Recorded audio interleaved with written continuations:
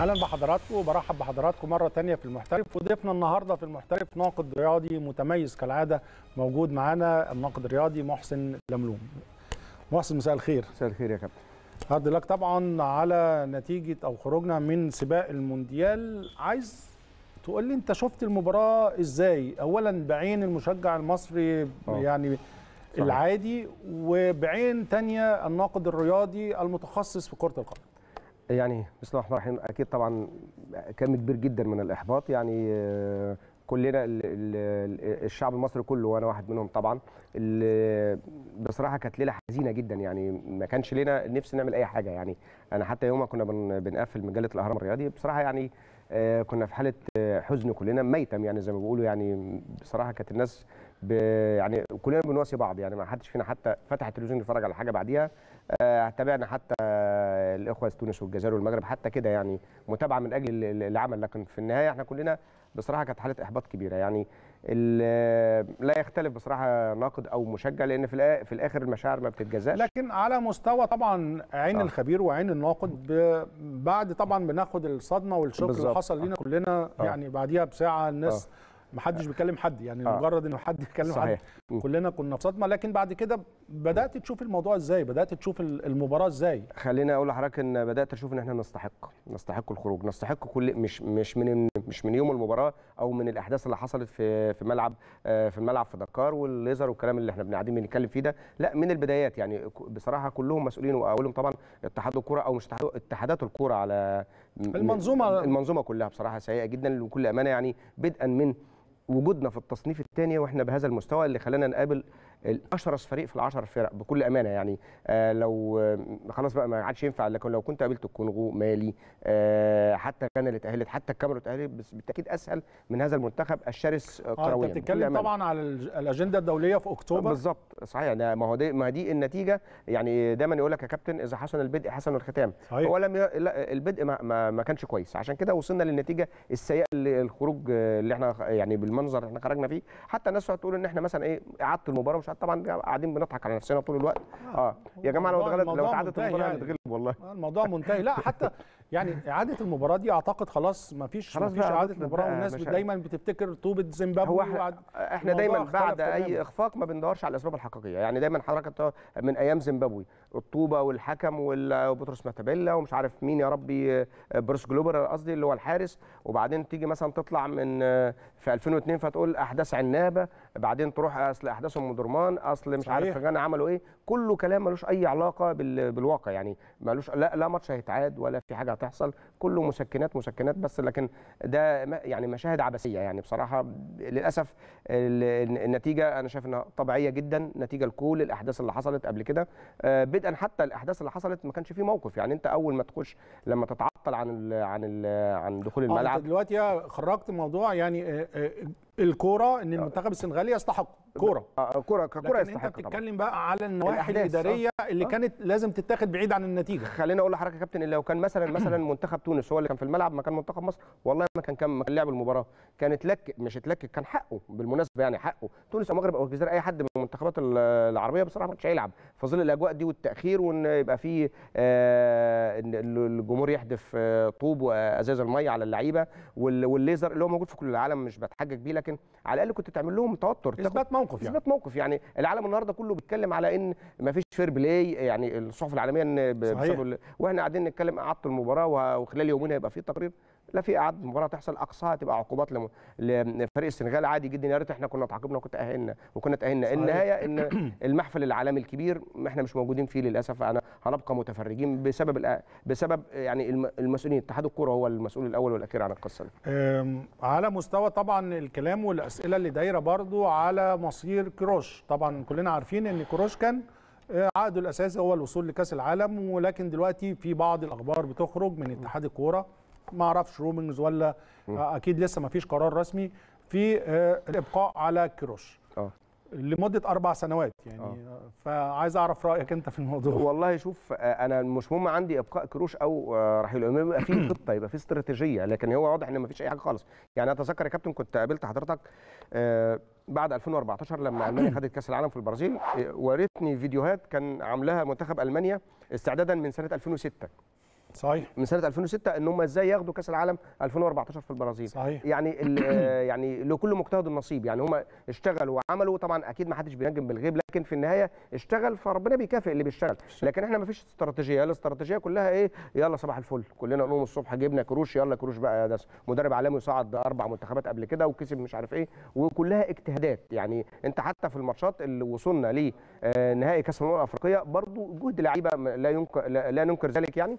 لكن ما فيش ما فيش خطة ما فيش ما فيش خطة موضوعة يعني ما فيش حاجة ما فيش استراتيجية يعني صحيح. أنا نفسي لو لو موجودة استراتيجية هي already هتمشي لوحدها جبت كروش أو غيره لكن إحنا إيه هي بتبقى مسكنات إن لو مثلا ال social media أو الرأي العام لا المدرب الوطني هوب هيشيل بكرة كروش ويجيب حد وطني حسام حسن أو غيره والدنيا تهدى وتبقى peace وده اصله قلبه على الوطن بس أصل ده يعني إيه. أنا في اعتقادي إيه؟ دي كلها حلول مؤقتة وزي ما. بتكلم. الحلول المؤقتة ديت إيه، ما بتعملش حاجة. م- هي هي يعني مسكنات وخلي بالك ما بتعالجش. المدير الفني للمنتخب آه. ما بيطورش لعيب. آه. وده اللي. بتكلم عليه دايما إن آه. كيروش ما عندوش وقت إنه يطور لعيب. جه كابتن حسام أو جه كابتن آه، إكس آه، مش هيقدر يطور لعيب. آه. وبالتالي تطوير اللاعبين آه، منظومة تطوير اللاعبين من خلال منظومة متكاملة آه. لازم تكون عندك مسابقة قوية جدا على صحيح. مستوى الدوري مش مسابقة آه، بس إن إحنا تبقى الصورة حلوة والبث جميل لأ على مستوى المنافسة على مستوى اللاعبين المحترفين فيه على مستوى آه. عدد الفرق يعني أنا بتكلم دايما في الديتيلز اللي هي طبيعي جدا إن أنت تناقشها يعني ولكن يعني أنت تعتقد الفترة اللي جاية هيكون في خطوة يعني لا. هيبقى في خطوة ولا آه، برضه هنخش مسكنات مسكنات. لا نملك إلا المسكنات. دائما ابدا هي موضوع مسكنات.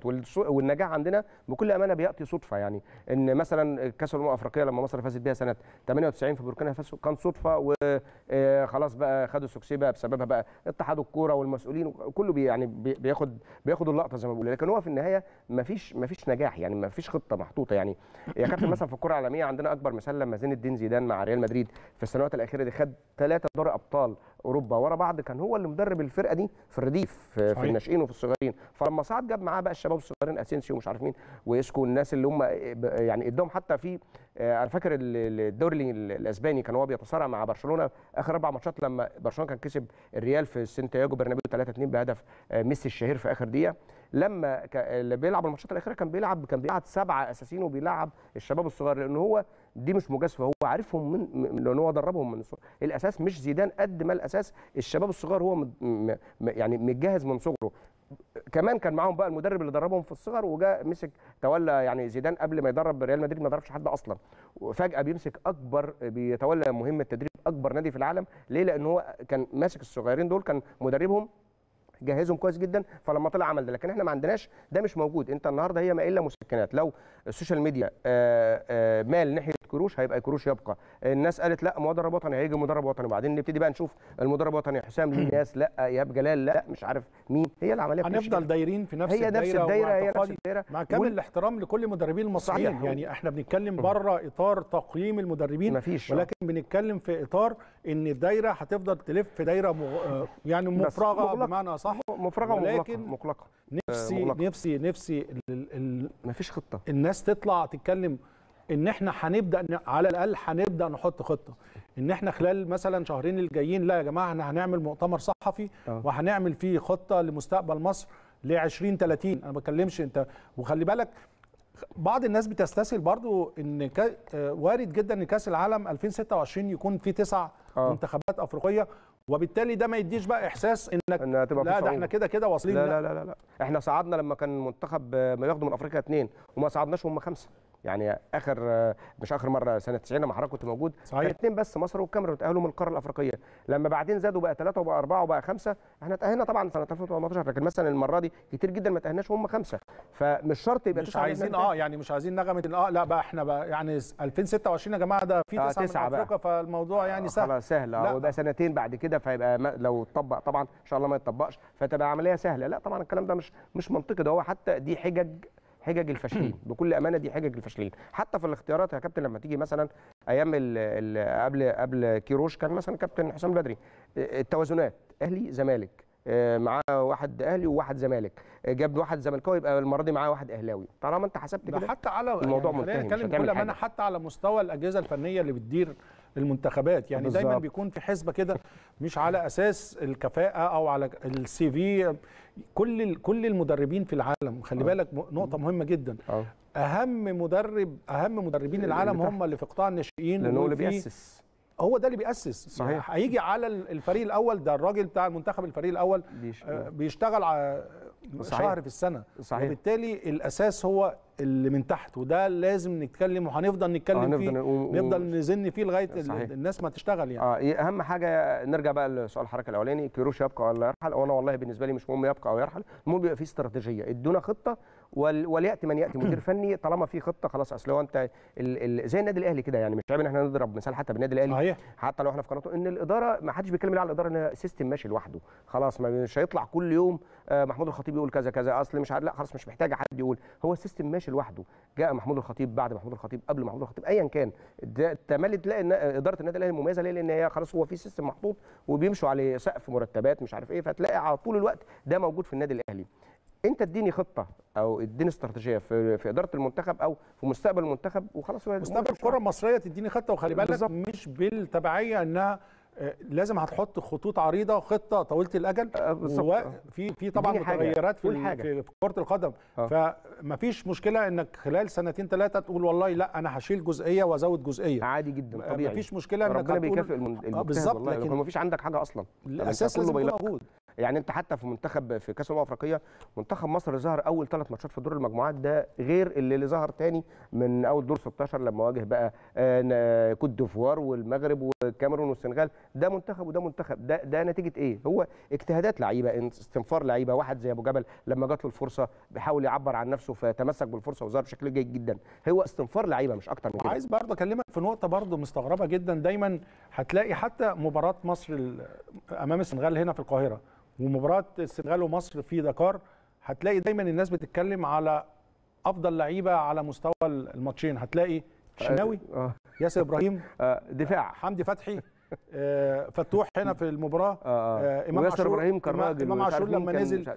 طيب آه، فين فين ال- النص الأول يعني اللي قداماني ده فين؟ فين فين الهجوم؟ آه، بالظبط. فدي نقطة حتى كمان مهمة الجون جاي كده يعني اجتهاد طبعا من محمد صلاح لكن جه كده برضه يعني تخبيط وخبطت ودخل. ما فيش ما فيش حاجة يعني انت ما عندكش يعني مثلا في المباراة الأخيرة بتاع دكار لولا بس الفرصة بتاعت زيزو اللي هو كان اجتهاد شخصي برضه منه إن هو قدر يع- يعدي اثنين وشاطها خلاص لم يحالفه التوفيق فيها. لكن وبرضه ضربات الترجيح آه، برضه يعني مش عايز أقول ضربات حظ في النهاية وفي في الأول وفي الآخر آه، توفيق وعدم توفيق. لكن أنت ما عندكش حاجة.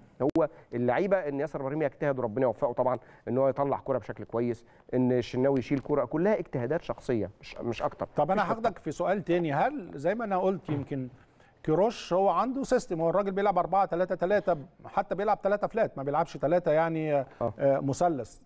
آه، كنت لسه بتكلم مش كان من الطبيعي إن هو يشوف إمكانيات اللعيبة وزي ما بقول يمكن ده متأخر شوية لأن طبيعي جدا آه، إذا كان منتخب الشباب أو منتخب ناشئين أو منتخب أولمبي لازم يلعب بطريقة المنتخب الأول يعني المنتخب الأول كان بيلعب 4 أيوة، عشان يخدم 4 عليه. 2 3 1 آه. هنلاقي المنتخب الأولمبي كان بيلعب 3 4 3 دلوقتي منتخب الشباب آه. بيلعب 4 2 3 1 آه. وبالتالي لما جه كروش هل كان من الأفضل انه يشتغل على نفس ال system أو يشوف الادوات اللي يستفيد بيها بشكل اكبر.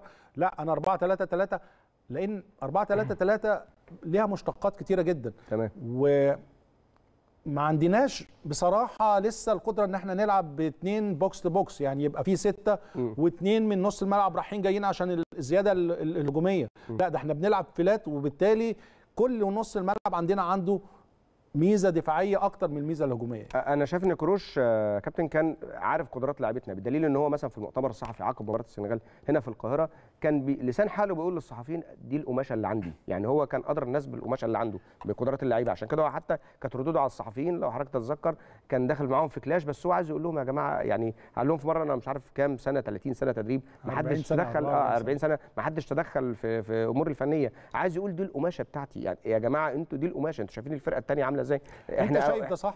ولا كان مش هقول إن إحنا كنا لازم هنوصل على حساب السنغال وإحنا وإحنا؟ هل كان في بعض الأخطاء بالنسبة للشكل العام لمنتخبنا هل ممكن كنا ظهرنا بشكل أفضل لو آه، في آه، أيوة، عنصر عنصر يعني عنصر زيادة الناس بتتكلم على زيزو آه بالظبط. كنت لسه هقول لحضرتك بنتكلم على قفشة. زيزو ليه يقعد إيه، طبعا مع احترامي طبعا للمدير الفني هو أكيد أدرى الناس بلعبته لكن مثلا واحد زي زيزو لما نزل عمل الفرق معاك شد الفرقة. كمان أنت كنت الفريق المنافس هو اللي بيتوتر كل ما الوقت يعدي يعني الشوط الثاني هم تسيدوا تقريبا الشوط الأولاني انت الشوط الثاني انت اللي ظهرت بشكل أفضل. ليه؟ لأن هو خلاص هو بقى بقى متوتر. ده كان في الوقت ده كان دورك انت. انت وبالفعل هو نزل زيزو ونزل وزيزو عمل آه، عمل ربكة لمنتخب السنغال ولاعيبه السنغال الوسط والدفاع بصراحة وهددهم وكان عنده الفرصة الحقيقية ال- يمكن الوحيدة لمنتخب مصر. طب انت ليه ما عملتش من الأول؟ يعني كان المفروض طبعا يعمل كده.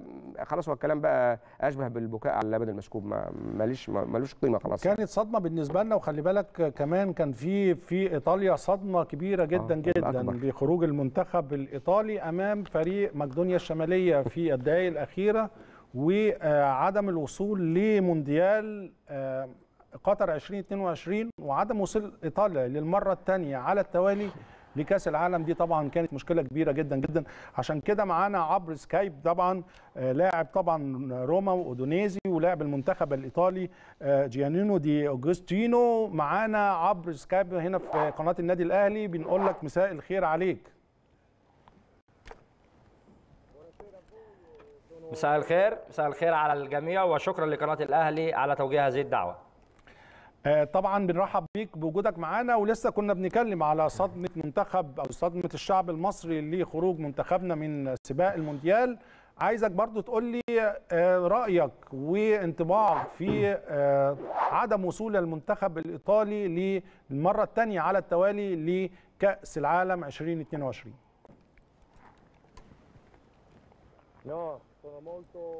تأكيد للأسف آه، لم أنتظر خروج d'Europa doveva andare al بطل أوروبا وبطل اليورو بعد الأداء الرائع الذي قدمته إيطاليا في بطولة اليورو. eh, non andare al mondiale significa non avere عدم تأهل إيطاليا للمونديال. يعني أن لدينا مشاكل كبيرة ومشاكل عديدة داخل أروقة الاتحاد الإيطالي. Da يجب أن نبدأ من جديد. ti fa ويجب أن نبحث عن الأشياء التي يجب أن يتم تأهيلها أكثر وأكثر من أجل نهوض إيطاليا لأن ما حدث هو كارثة هزت أروقة الاتحاد الإيطالي. وحزن يخيم على جميع المدن الإيطالية عدم تأهل إيطاليا للمونديال الثاني على التوالي. شيء لم أنتظره لكن يجب أن أوجه آه، كلامي إلى الشباب والمواهب الإيطالية. يجب أن تعملوا عملا كبيرا ويجب أن تقودوا إيطاليا وتعوضون عن الخسلان الذي تم في ملعب رينزو باربيرا. يجب أن نؤهل العديد من المواهب لأن إيطاليا أصبحت الآن تعاني من ندرة المواهب الإيطالية. ويجب أن نساعد المدرب لأن مشروع مانشيني يجب أن يستمر. آه، طبعا مشروع مانشيني يجب أن يستمر. وطبعا الاتحاد الإيطالي آه، يعني آه، الصورة اللي قدامنا مانشيني روبرتو مانشيني اللي طبعا خد اليورو 2020 وكان في أعلى مستوياته آه، ما زال مستمر في هذه المهمة. الوصول تاني لكأس العالم القادم 2026 آه، عايز أعرف رغم الإخفاقات الكثيرة في الكرة الإيطالية تفسيرك لإيه؟ لعدم وجود أي فريق إذا كان في الدوري الأوروبي أو بتتكلم على ال Europa League أو على مستوى دوري آه، أو دوري أبطال أوروبا خروج اليوفنتوس الإنتر ميلان آه، آه، يعني شايف ده إزاي من خلال رؤيتك لمستقبل الكرة الإيطالية؟ Ma eh, io penso che Mancini sia l'uomo giusto. بالنسبة لي أعتقد أن روبرتو مانشيني الرجل المناسب وأنا مع استمرار مشروع روبرتو مانشيني لأن المانشو استمر واستحق بطولة أمم أوروبا وقام ببناء إيطاليا كبيرة إيطاليا أذهلت العالم كله في شهر يوليو يجب أن يستمر مانشيني وأنا سعيد بهذا القرار لكن إذا ما تحدثنا عن الكارثة الكبرى وهي التي ذكرتها ما حدث لمنتخب إيطاليا كان متوقع كما ذكرت بالنسبة لي خروج الأندية الإيطالية من دوري giovane per poi venderlo. كان ناقوس قطر يدق في paura, tra virgolette. كان يجب أن نأخذ حذرنا من ذلك وكانت أمور صعبة بالنسبة لنا لكن أنا اوجه كلامي للمانشو من خلال قناه الاهلي يجب على مانشيني ان يعتمد في الأيام القادمه على الشباب يجب ان يكتشف لاعبين جدد دماء جديده يجب ان تضخ في المنتخب mentalità. لأن المستقبل دائما مع الشباب ودائما مع المواهب انت تعلم ايطاليا وقيمه ايطاليا عندما كنا في يورو 2000 i giocatori giovani devono trovare اللاعبون الشباب هم من قادوا ايطاليا إلى بطوله كبيره كاليورو وكاس العالم أيضا في 2006 esaltarsi nelle loro qualità. ويجب على اللاعبين ان يعلموا قيمه تيشيرت منتخب لأن deve- للاسف لدينا مشكله كبيره في العقم الهجومي.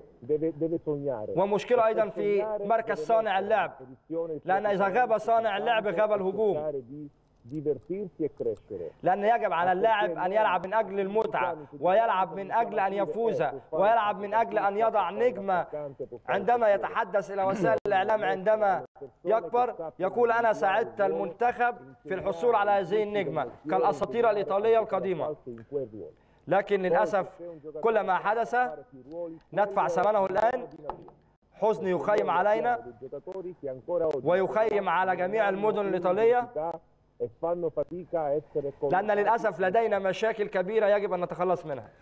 آه، من ضمن المشاكل عايز أقول لك إن آه، على مستوى الأندية بي- الأندية بتشارك ب 34% بس من اللاعبين في الدوري الإيطالي هم لعيبة طليان والاعتماد بشكل كبير على لعيبة خارج آه، من خارج إيطاليا.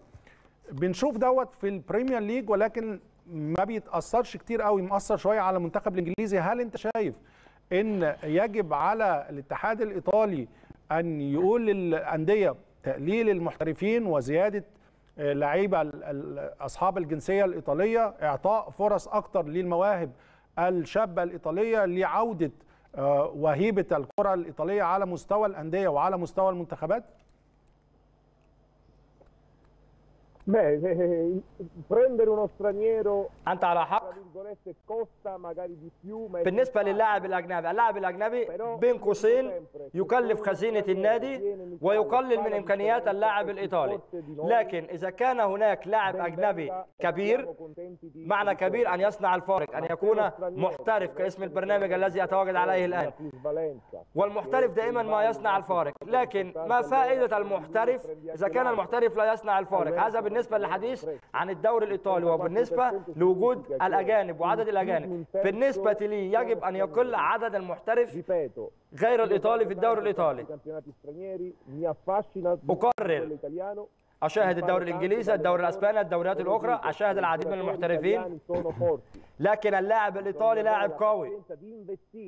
لديه الجرينتا والجميع تعلم الجرينتا منه. لكن يجب أن يلعب من أجل التيشيرت ويجب أن يلعب من أجل بلاده. ليس من أجل المال. يجب أن تحذروا ويجب أن تعلموا قيمة اللاعب الإيطالي.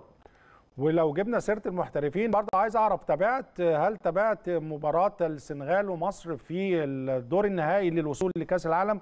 وشفت المباراة إزاي؟ ولو ما شفتهاش تداعيات هذه المباراة شفتها إزاي من خلال متابعتك إذا كان من خلال التلفزيون أو من خلال آه، وسائل الإعلام. Ma io la partita non l'ho visto ho visto gli highlights. يجب أن أكون صريح معك أنا لم أشاهد المباراة كاملة شاهدت الهايلايتس. لكن كل ما حدث من أحداث في هذه المباراة تناقلتها وسائل الإعلام. eh, رأينا كل ما شاهدناه في الكاميرات. È un peccato non si شيء مؤسف. ما حدث للمنتخب المصري خلال هذه المباراة دعني أختار التعبير الأصح ما حدث هو عار على كل سنغالي وعار على كل من كان موجودا في الملعب. هذه ليست كرة قدم. إذا كنت الأفضل يجب أن تفوز في الملعب. سأهنئك وستكون الأفضل وستفوز باحترام الجميع. لكن. أن تبدأ المباراة بهذه الأجواء هذا ضد الروح كرة القدم وضد معايير الفيفا. ويجب أن يحاسب كل مسؤول عن ما حدث لمنتخب مصر. أنا متفق معاك تماما جو الإرهاب وطبعا اللي واجهه المنتخب المصري بعيدا عن الفنيات وبعيد عن النتيجة أكيد لا يليق بطبعا تصفيات كأس عالم بمنتخب كبير وبلد كبيرة زي السنغال. نروح من منتخب مصر أكيد هنتكلم على محمد صلاح. أكيد محمد صلاح أكيد تابعته من خلال وجوده في روما وفيورنتينا وعودته طبعا ليفربول وتألق كبير مع ليفربول. عايز أخد رأيك في آه، عملية تجديد التعاقد مع محمد صلاح. شايف ما هو الأنسب من وجهة نظرك لمحمد صلاح؟ البقاء في ليفربول لمدة أربع سنوات قادمة أو الاتجاه إلى دوري آخر زي الدوري الفرنسي عن طريق PSG أو عن طريق الدوري الأسباني من خلال برشلونة؟ Ma io credo che Salah Liverpool sta facendo la storia. بالنسبة لي صلاح ليفربول 3, 4 giocatori. يصنع التاريخ وصنع التاريخ وسيصنع إذا تم إذا ما كان يريد أن يصبح أيقونة من أيقونات ليفربول يجب أن يستمر في ليفربول دي وجهة نظري.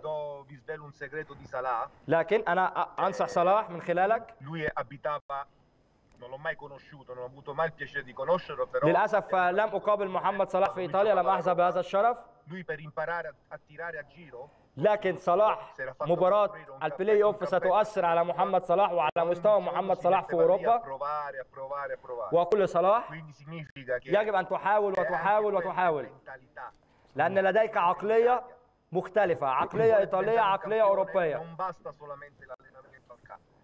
لكن يا صلاح lui era uno che curava i particolari. perché منتخب بلادك كان يستحق أن تتوج معه بأي شيء من أجل الفوز بالكرة الذهبية ومن أجل أن تفوز ببطولة معه لكن للأسف ما حدث لصلاح شيء مؤسف هل من ناخد من كلامك آخر سؤال قبل طبعا من نشكرك على تواجدك معانا؟ هل عدم ال- الوصول للمونديال هيأثر على محمد صلاح على المستوى الشخصي في الحصول على البالندور أو جائزة أفضل لاعب لهذا العام أم ال يعني ال القانون الجديد اللي بيقول بنقيم اللعيب على مستواه الفردي بس هو ده يكون الأساس. هل عدم وجود محمد صلاح هيؤثر على هذه الجائزة لهذا ال- السيزون.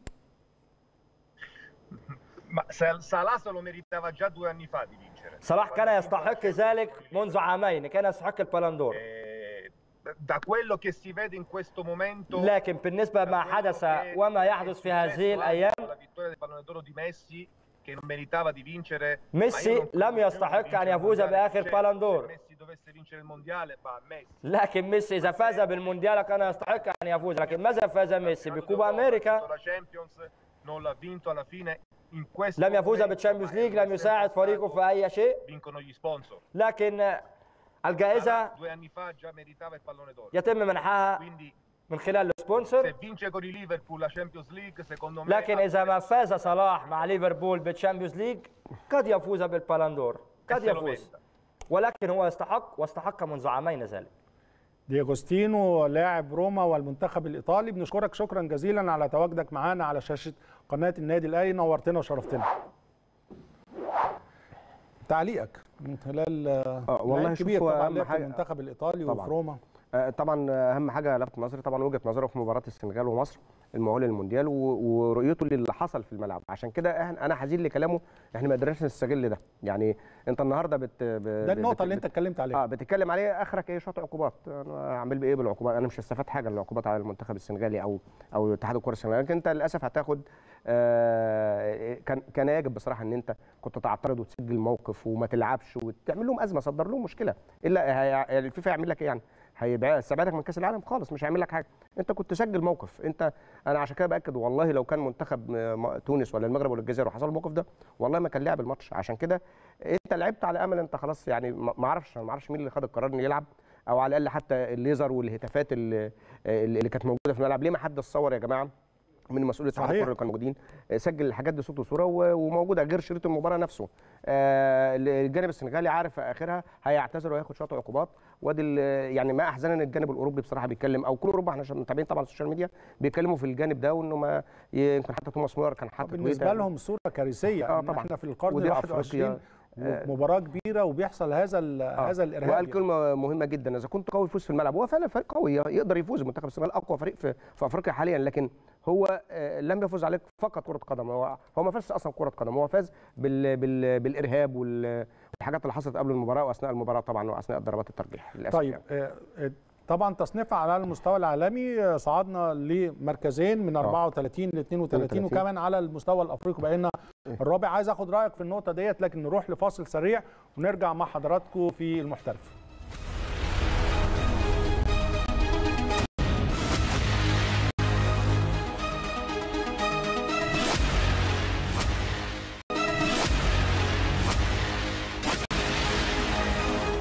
أهلا بحضراتكم مرة تانية. محسن قبل الفاصل كنا بنتكلم من آه، منتخب مصر التصنيف على مستوى العالم آه، من 34 ل 32 وعلى المستوى الأفريقي من المركز السادس للمركز الرابع. شفت ده إزاي وإزاي يأثر بقى بالإيجاب علينا الفترة اللي جاية. دي الحسنة الوحيدة اللي إحنا طلعنا منها بالتصفيات دي أول صح. حاجة.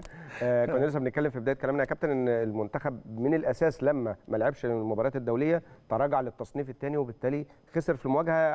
على الأقل مواجهة الإياب ما تبقاش على أرضك والكلام اللي إحنا عارفينه ان أنت كنت تبتعد تماما عن يعني السنغال والحاجات التصنيف الأول وكنت هتواجه. منتخبات الصف الثاني اللي بالتأكيد أسهل شوية بتبقى بيعزز من فرصك. ليه؟ لأن تصنيفك كان متراجع. آه، دي بداية أنت ابني على دي يعني دي عندك نقطة خلاص. آه، أنت طلعت من الموضوع ده بميزة إن أنت بقت آه، مصنف خلاص تصنيف أول على الأقل حتى لو لو خمسة ولا أربعة مع الماتشات اللي جاية. يقدر منتخب مصر يكمل في القصة دي لأن هي دي زي ما قلت لك برضو نرجع لكلامنا في الأول إذا حسن البدء حسن الختام تقدر تختم النهاية إن شاء الله اللي هي سواء بقى كاس أفريقية أو إن شاء الله صعود لكأس عالم الدنيا الأيام بتجري ده كلها صحيح. كأس العالم هتبدأ بعد سنتين يعني الموضوع أقل من سنتين كمان الموضوع بيبقى قريب جدا مع تصفيات كأس أمم افريقيا فاللي تقدر تبني من ده للفترة الجاية حاجة كويسة جدا وتقدر تبني إن شاء الله يكون بداية تأهلك لكأس العالم 2026 يبدأ من وجودك في. من من تصنيفك من اللحظة دي طبعا وبمناسبة طبعا الت- التصنيف بكرة طبعا القرعة قرعة. طبعا الكأس العالم وإحنا محضرين كمان عبارة عن أربع مستويات. طبعا إحنا بنتكلم على قرعة كأس العالم في أربع مستويات. برضو فريق الإعداد محضر لنا المستويات نقدر نتكلم عليها. و على المستوى الأفريقي يعني المنتخب السنغالي بيقع في تالت. المستوى الثالث آه، آه. المنتخب الكاميروني أعتقد في المستوى الرابع ف المغرب رابع وتونس استفادت من هزيمة كندا بالأمس من بنما هو كان محطوط لحد امبارح تونس أو كندا واحد فيهم ثالث واحد فيهم رابع هي لعبت كندا من حظ طبعا الأخوة في تونس إن هو اتغلبوا من بنما فبقوا تصنيف رابع وتونس اتحطت تصنيف ثالث بس ايا كان يعني إحنا بالنسبة لنا بالنسبة لنا إحنا كعرب يعني مش هيهمنا التصنيف قوي لأن إحنا مش هناخد كأس العالم. لا ما مهم برضه. بيسهل معانا شوية بنسهل يعني. بالظبط. طبعا المستوى الأول طبعا قطر طبعا هي الدولة المستضيفة عندنا. قطر البرازيل بلجيكا فرنسا الأرجنتين إنجلترا إسبانيا البرتغال. رغم إن البرتغال كمان يعني وصلت عن طريق الملحق لكن طبعا بتعد من آه، آه، على المستوى العالمي من أفضل عشان نتائجها عشر السابقة. نتائج السبق المستوى الثاني بتضم هولندا ألمانيا الدنمارك سويسرا اورجواي كرواتيا المكسيك وأمريكا. المستوى الثالث في السنغال إيران اليابان المغرب صربيا بولندا كوريا الجنوبية وتونس. والمستوى الرابع في كندا الكاميرون السعودية الإكوادور وغانا. وواحد من ثلاث فرق ويلز أو أوكرانيا واسكتلندا. طبعا الفائز من ويلز وأوكرانيا هيلاعب اسكتلندا هيوصل الفائز منهم بيرو أمام استراليا وطبعا الإمارات هتلاعب الفائز منهم لا استراليا هتلاعب الإمارات؟ استراليا والإمارات آه يبقى واحد. منهم. مظبوط. وكوستاريكا أو نيوزيلندا نيوزيلندا. طبعا آه دي طبعا القرعة هتكون بكرة وزي ما بقول لك يعني أنا شايف ألمانيا في المستوى الثاني وأعتقد هتبقى مجموعات قوية جدا يعني أنت. بتتكلم أي ترتيب قوي بصراحة يعني يعني آه. بتتكلم على مجموعات على مستوى عالي جدا ومنتظر أنت شايف يعني منتظر مش هقول لك طبعا مين اللي هياخد كأس العالم من من لسه طبعا. لسه صعب شوية لكن دايما بيكون في منتخبات مرشحة على الأقل آه.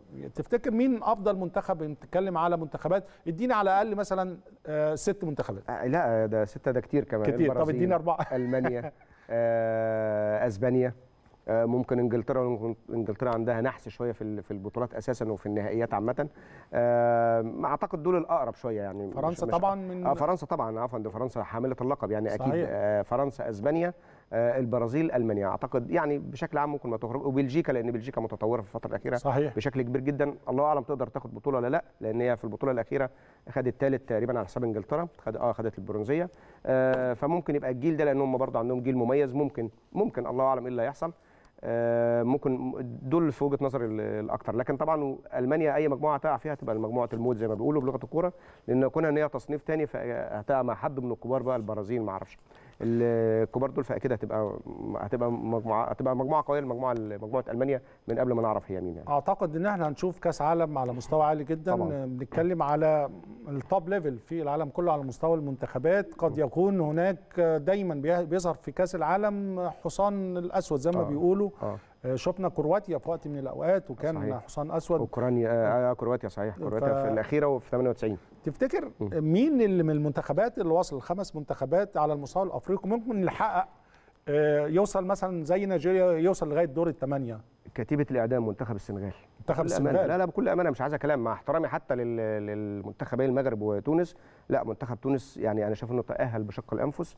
آه لابد يعاد النظر في كتير من ال من ال من من عناصر المنتخب التونسي.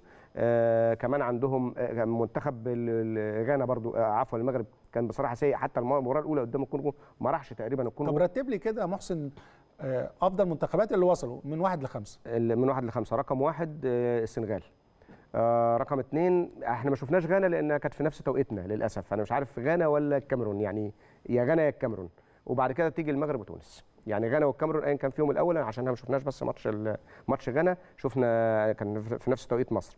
آه، لكن أعتقد إن هي مجرد إن هي هدفت على نيجيريا وأحرجتها ونيجيريا اللي اتعادلت معاها بضربة. ترجيح. آه، وقدرت تنتزع من من أبوجا التاهل أكيد يبقى منتخب قوي زي ما برضو الكاميرون عمل لأن طبعا ال- ال- الصدمة الأخوة الجزائريين كانت قاتلة طبعا الدقيقة 124 بيجي لهم الهدف كانوا خلاص في. سيناريو صعب جدا سيناريو جداً. صعب جدا بالمناسبه يعني الشيء بالشيء يذكر هم لما آه، عجبني البيان اللي عمله عمار شرف الدين اللي هو رئيس اتحاد الجزائر كره القدم استقال. طبعا و- وقال لما الناس قعدت تقولوا بقى نعيد المباراة ومش قال لي يا جماعة نعيد المباراة في حالة اعتراف الحكم بالرشوة وده مش هيحصل أصلا ده لو لو كان أصلا مرتشي لكن هو مش هيحصل وبالمناسبة الحكم اللي هو بكاري جسام اللي إحنا كلنا بنكرهه في مصر أهلاوية وزملكاويه ومنتخب صحيح. مصر كلنا علينا تحفظات عليه هو اللي كان السبب في آه، كان هو حكم المباراه دي رغم إن قراراته كانت بعضها عكسي ضد المنتخب الجزائري لكن كان حاد بعكس مصطفى غربال في ماتشنا ضد السنغال. مصطفى غربال كنت هكلمك عليه آه أنا لما سمعت إن هو يحكم المباراة أنا يعني قلت من أفضل الحكام أنا على اتبسطت جدا. على المستوى fair. الفني على مستوى على مستوى الهدوء. fair آه. لكن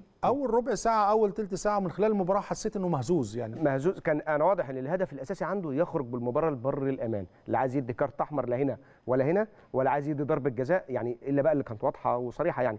عشان كده كنت تلاقي مثلا إيه اللي كان في في check VAR كده كان بيقول لك possible possible- آه، يا penalty، آه، ما رجعش أصلا أو ما. جاش. آه صح. يعني هو تلاحظ حتى لما كان أي اتنين لعيبة يشتبكوا مع بعض والمباراة طبعا ساخنة والأجواء متوترة كان يفض بينهم ويطبطب ويعمل. طبعا ده كويس وكل حاجة لكن هو كان واضح الهدف الأساسي عنده اطلع لبر الامان يا رب الماتش تخلص على خير لأن هو كون إن هو عربي ومنتخب مصر مش عايز يز... أكيد أكيد مش عايز يظلم حد لا مصر ولا غيره هو مش عايز يظلم لكن هو كان. الأساس عنده إن هو آه كان عايز يخرج بره الأمان. فده أثر شوية على أثر على أدائه بعكس زي ما بقول لك بكاري جسامة أنا كان. رغم إن بكاري جسامة مش في كفاءة آه، غربال خالص لكن هو صحيح. كان حد مثلا إيه الجزائر تسجل هدف إلغي على طول وبعدين يرجع الفار يأكد كلامه لكن هو كان كان حد شوية يعني إيه كان كان بيديها بعصبية يعني أنا مش خايف منكم يعني أنا على أرضكم مش خايف منكم عشان كده آه هو يمكن اللي عجبني التصريح إن هو بتاع عمار شرف الدين قال يا جماعة أنا حتى هو كان في كلامه قال أنا بنصح باستمرار جمال بالماضي لأنه عنده مشروع ولازم ده يستمر. شيء ده شيء مميز جدا. آه آه، بصراحة لأن هو هو مش في هو المسؤولية. عنده مشروع زي ده بنصح. وعنده وعنده مشروع وراجل قلبه على الوطن وكان ممكن يعمل ده لكن في النهاية آه، التوفيق وعدم التوفيق حرم طبعا منتخب الجزائر لكن هو قال لي يا جماعة عشان ما حدش يتكلم كتير على إعادة المباراة ونعمل والملف والظلم التحكيمي الإعادة في حالة واحدة فيما لو الراجل خد رشوة واعترف بيها. واعترف. وطبعا حتى لو خد رشوة مش هيعترف بيها عشان. عشان بس ما يحصلش الكلام ال- ال- الجدل الكتير طيب يعني. هنسيب طبعا آه، كأس العالم ونفكر حضراتكم ونفكر نفسنا كمان نادينا النادي الأهلي العظيم عنده مشوار مشوار على البطولة الأفريقية ومباراة مهمة جدا. أمام آه، طبعا فريق الهلال السوداني. آه. شايف الأجواء إزاي؟ وإزاي لعيبة النادي الأهلي اللي راجعة مع المنتخب أكيد في إحباط كبير جدا على المستوى آه. النفسي. آه، آه. إزاي إزاي يقوموا تاني؟ إزاي موسيماني يشتغل إن خلاص يقفل الصفحة ديت؟ والموضوع مش سهل على فكرة إنه لازم تقفل طبعاً. الصفحة دي وتركز مع ناديك لأن كمان مباراة فيصلية في في أكيد. مشوار النادي الأهلي. أكيد. شوف آه، رقم واحد لعيبة الأهلي أكيد عندهم الخبرات إنهم يقدروا يفصلوا في ده. كمان إن منظومة النادي الأهلي تقدر تفصل. عايز أقول للعيبة دي كمان يا جماعة لو لا قدر الله لم توفقوا يبقى أنتوا آه، في أقل من أسبوع خرجتوا من بطولتين وبطولتين كبار دوري الأبطال. على مستوى الأندية وكأس العالم على مستوى المنتخب فأعتقد يعني ما حدش مستحمل الكلام ده كله. كفاية حاجة. آه، اللي حابب احذر منتخب مصر أو النادي الأهلي منه في المباراة دي وعفوا يعني بقول الكلام ده إن دايما الهلال السوداني وفريق الهلال السوداني الشقيق أو المفترض الشقيق دايما يفتعل الأزمات كل ما التقى بالنادي الأهلي بدون مبرر وبدون أي حاجة خالص. تلاقي مثلا يعني هو عارف إن الفار مثلا غير معتبر في دور المجموعات بيطالب بالفار. طب هو يعني الكاف هيجيب لك انت فار لوحدك يعني. ما هو ما هو كل الماتشات اتلعبت. في الأربع مجموعات بدون بدون فار. اشمعنى انت يعني؟ هو دائما وابدا للأسف الشديد جدا يختلق المشكلات. حتى في مباراة الدور الأول وطلعوا أنا بستغرب جدا المسؤولين بتوعهم يطلعوا يقول لك ومللنا من آه، مجاملة الكاف للأهلي. أنا عايز أعرف مل إزاي وهو النادي الأهلي واخد 24 بطولة قارية وأنت صفر بطولات قارية. هو مل أنت, من أنت مليت أنت مليت مل من من حصول النادي الأهلي على بالظبط. أنت. اذا كنت مليت فأنت مليت من مشاهدة النادي الأهلي وهو بيحصل على البطولة. ودائما ابدا يفتحوا الأزمات. أنا ما بحبش الكلام ده وبحذر لعيبة النادي الأهلي للأسف الشديد تحديدا فريق الهلال السوداني رغم إن هو فريق كبير وعظيم وله كل التحية والتقدير دايما يفتعل مشكلات ويخرج بره المباراة. يعني أنا حابب بس يعني قبل ما تقفل القصة دي آه، أنا حابب أقول ان مواجهتهم آه، مواجهته مع النادي الأهلي طب كانت تعالى نشوف ترتيب المجموعة برضو آه. نفتكر مع حضراتكم ترتيب مجموعة النادي الأهلي ودي طبعا المباراة الأخيرة يعني المباراه الأخيرة في هذه المجموعة وطبعا كل التوفيق لنادينا النادي الأهلي. أكيد الأمور صعبة مش سهلة لكن كلنا طبعا ثقة في لعيبتنا كل بس الرسالة ببعتها للعيب المنتخب. أكيد كلنا محبطين أكيد كلنا زعلانين لكن خلاص دايما لعيب الكورة يبص لقدام ويبص للخطوة اللي جاية والخطوة اللي جاية طبعا خطوة مباراة صعبة أمام فريق الهلال. طبعا سان داونز ضمن الصدارة يعني ب آه، في المركز الأول ب 13 نقطة. النادي الأهلي في المركز الثاني بسبع نقاط. الهلال أربع نقاط في المركز الثالث المريخ باربع نقاط في المركز الرابع. آه نتمنى ما يكونش في مفاجآت لأن آه، لغاية دلوقتي طبعا النادي الأهلي هو الأقرب إن شاء الله آه، للوصول. التعادل. آه إيه اللي يعمله النادي الأهلي؟ بنخ- بنتكلم على المستوى الفني شوية. موسيماني يشتغل آه المباراة إزاي؟ آه، قتل المباراة من بدايتها. قتل المباراة آه لا- لأن أنت أي أي وقت آه، يعني إيه النتيجة طالما هي تعادل المنافس عنده أمل. أنا بكون بكل أمانة يعني أنا بتكلم كرويا إن أنت طول ما طول ما المباراة آه، بالتعادل أنت يعني مثلا شو- آه، خد التعادل أو الفوز يعني. آه بالظبط. خد خد أنت تجربة مثلا الجزائر والكاميرون. الدقيقه 124 بيجيب جون. لكن لو كان مثلا الجزائر للأسف كان متقدم مثلا بهدف ثاني فخلاص ما يفرقش معاه إن يجوا له الجون اللي هو على طريقة القاضيه ممكن دي. فأنت كان المفروض المفروض موسيماني والنادي الأهلي يحسموا المباراة مبكرا يقتلها مبكرا بهدف مش هقول أكتر من كده يعني إن أنت تبقى متفوق حتى اللحظات ودايما اللي بيقلق في الموضوع إن إن دايما لو أنت نازل عندك اتنين اوبشن أيوة. أنا ساعات بخاف من النقطة دي آه، بصراحة بالظبط. يعني أنت عندك آه يعني نتعادل يا نكسب هو هو وبالتالي آه. آه. نادي الهلال ما عندوش إلا هدف واحد هو صحيح. الفوز فعشان كده الضغوط عليه هو مش عليك أنت أنت صدر الضغوط دي وعندك استفادة من عنصريه الأرض والجمهور تقدر آه تتفوق من البداية وأنت لو سجلت هدف أنا متاكد النادي الأهلي يقدر هو يتوتر أكتر فأنت تبقى صحيح. عندك تقلب أنت الآية مش اللي هو طول ما النتيجة آه صفر صفر أنت أنت في توتر يعني منتخب السنغال رغم قوته هو الفريق الأفضل في, في القاره الأفريقية شفت الشوط الثاني كان عامل إزاي؟ لأن النتيجة 1-0 لو كانت لا قدر الله كانت 2-0 كانت تعمل له أريحية في أكتر. الوقت يسجل اللي يا. دوبك ربع ساعة بدأنا نمسك فيها كورة هم يعني أنت وصلت كتير ورحت كتير. وصلت في الشوط الثاني. فحسيت إن هم لا متوترين لأن بالنسبة لهم عشان كده للأسف الهدف بتاعهم كان مبكر. يعني عارف أنت لو الهدف ده مثلا اتأخر حتى لو الشوط الثاني كان هم بقوا زادوا أكتر ارباكا أكتر ارباكا فعشان كده على النادي الأهلي انه يستفيد من آه، مباراة مصر والسنغال ومباراة الجزائر والكاميرون ويقتل المباراه مبكرا. ما يعتمدش خالص على آه، نتائج سواء. حتى مباراة تونس ومالي.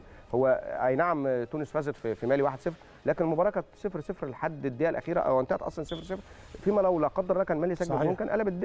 قلب يعني كان ما تعرفش إيه اللي هيحصل ضربه الترجيح. كلنا ثقة في. لعيبتنا وكلنا ثقة في يقتل المباراة. من اولها إن شاء الله. محسن بنشكرك. شكرا, شكراً جزيلا. نورتنا وشرفتنا كالعاده آه، طبعا بعد الفاصل كمان عندنا فقرة مميزة جدا في المحترف. بنتكلم على فقرة التحليل الفني لنجوم العالم. اتكلمنا في الفقرة دي مع الناقد والرياضي ومحلل الأداء العالمي محمد الباز. اتكلمنا عن تشيلسي واتكلمنا على نجوم كبار زي ليفا و لكن النهارده كمان هنتكلم على أعتقد أغلى لاعب في العالم الآن يمكن بعد امبابي أو مع امبابي هالاند آه، لعيب آه، طبعا بروسيا دورتموند. هنتكلم آه، إيه ليه سعره وصل 250 مليون يورو؟